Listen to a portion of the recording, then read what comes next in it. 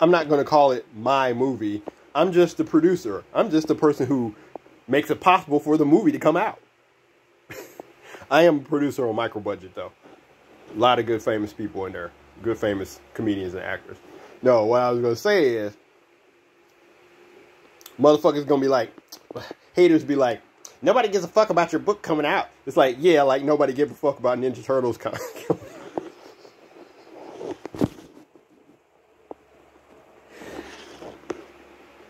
Let me explain something to The Ninja Turtles fans who first saw Ninja Turtles when it was animated. It's based on a comic book. Okay? The comic book was out first. I know. Blows your mind, right? Ninja Turtles fought the Triceratons and the TCRI aliens, okay? And Baxter Stockman should have been in the original Ninja Turtles 2 movie, but they got David Warner, great actor, but you know, he was underutilized because he wasn't playing a villain.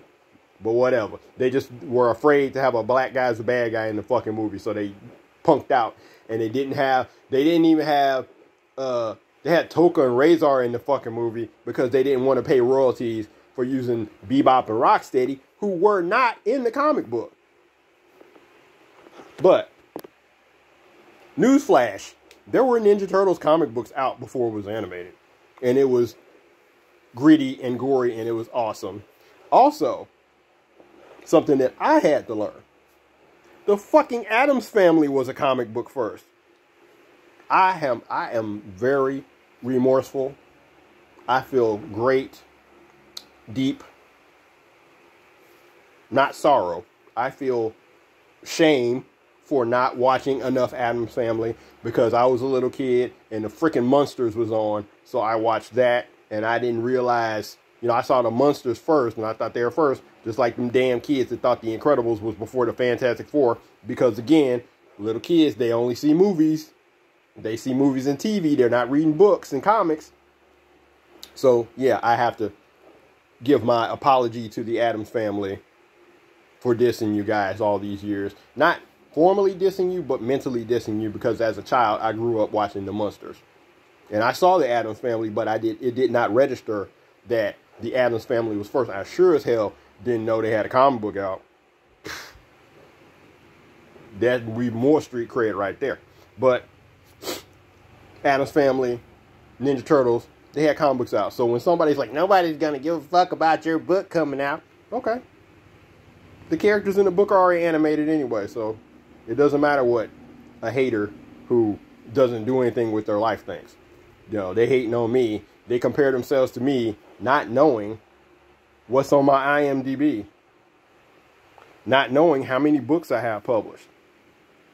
Your books, how how much money you making off your books? It ain't your fucking money. You didn't put the no money into it. That's like a motherfucker asking you how much money you making off of your movie when you use your money.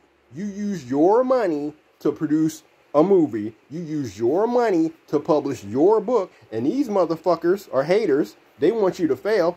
They try and ask you how much money you making. Why? How is it their business? They're not shareholders. If you're not a shareholder in the company, don't ask how, what kind of money is being moving around because it's not your money. You don't have no stake in it, so it's not your business. You know, they people feel like when they're talking to somebody who's black, not just black people, people who are not black do this. They feel like they can ask you any fucking off the wall, nasty ass question. Like, look, motherfucker, I'm not your bitch. We are not in a fucking relationship. If you're not putting no money in, and that's just like somebody will, somebody black will get famous and everybody will be hating. Oh, I can't stand that motherfucker. Well, did you support them? Uh, did you support them when they started out? Well, no. Then what the fuck are you talking about? How can you be angry at somebody that that didn't betray you? They used their own money. We, I got to read this goddamn Naked Lunch by William S. Burroughs. This motherfucker's parents were rich. This motherfucker's parents were rich. Sounds like some politicians I know. I'm supposed to give a fuck about this motherfucker? Over somebody that had to struggle like Jack Kerouac?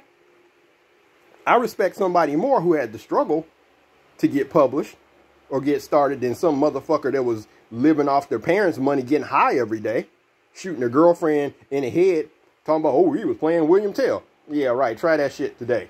Kill your girlfriend today talking about we was playing, we were playing William Tell. I'll put an apple on her head. Yeah, right, motherfucker. You going to jail. But, uh, you know, when your parents are rich and they can buy a wing of, the, they can buy a wing of a college, yeah, rules don't apply to you. And when you're a fucking writer and you fucking suck and your book comes out and everybody reads the shit and they know it fucking sucks, they still make it into a movie that's fucking disgusting by Roger Ebert and Gene Siskel's determination. I gotta agree with them. From what I've listened to, what I've read, and what I've seen, this shit sucks. But gotta get this master's degree. So naked lunch it is for now. But don't ask me my opinion on it because I'm going to tell you the truth.